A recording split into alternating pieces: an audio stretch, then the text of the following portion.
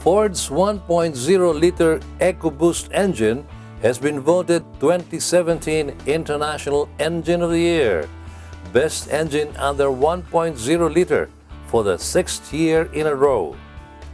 The frugal three-cylinder 1.0-liter EcoBoost engine was named Best Engine under 1.0-liter by a panel of 58 automotive journalists from 31 countries.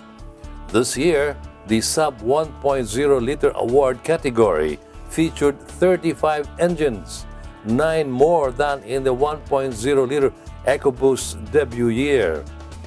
The Ford's 1.0 liter EcoBoost engine is offered with 100 PS, 125 PS, and 140 PS.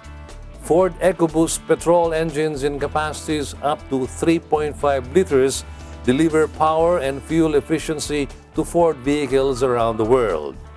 The 1.0-liter EcoBoost engine featuring cylinder deactivation technology will be offered to customers in 2018. It will deliver reduced running costs for customers by automatically stopping one of the engine cylinders when full capacity is not needed such as when coasting or cruising with light demand on the engine.